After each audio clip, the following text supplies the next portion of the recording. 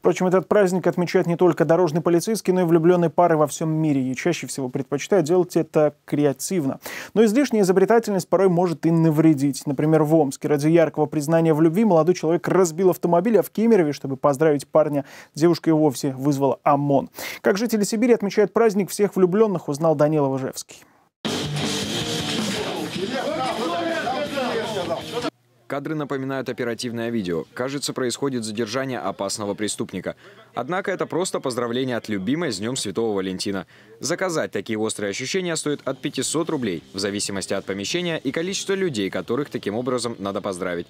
В Кемерове этот розыгрыш пользуется спросом, говорит организатор поздравление любимой или любимого в стиле ОМОНа. То есть это когда здоровые мужики с настоящими автоматами вваливаются, заламывают тебя, начинают обыскивать, э, подсовывают тебе порошочек белый, а в окончании они тебя поздравляют с замечательным этим днем любви. Алексей Быков из Омска вообще подстроил ДТП, чтобы сделать возлюбленное предложение. За четыре дня парень сделал муляж разбитого лобового стекла, договорился со скорой, нарисовал на дороге тормозной путь.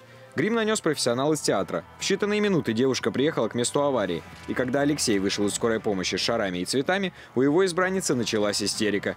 В ответ на предложение руки и сердца девушка бросилась на Алексея с кулаками и согласилась выйти за него только через две недели отношения, они всегда складывались именно из общего какого-то авантюризма. То есть никто не запрещал после работы выйти уставшими, сесть в машину, а на полпути подумать, что с утра в Новосибирске очень прекрасный кофе.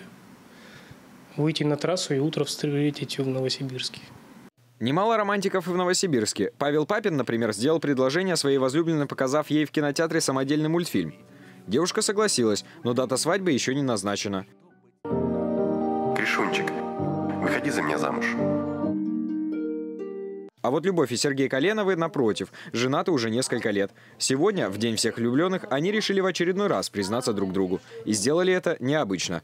Пара зарегистрировала свой брак по старым традициям, под красным платком и с берестяными кольцами, которые они надевали поверх своих золотых в Музее истории Томска. Любовь должна быть особенной, а дата уже может быть любая, и не обязательно ее запоминать, мне кажется. Важно а, дальнейшая уже совместная жизнь и любовь там, в браке, не в браке, там совместная. Данила Выжевский, Сергей Степанишин. Новости здесь, Омск.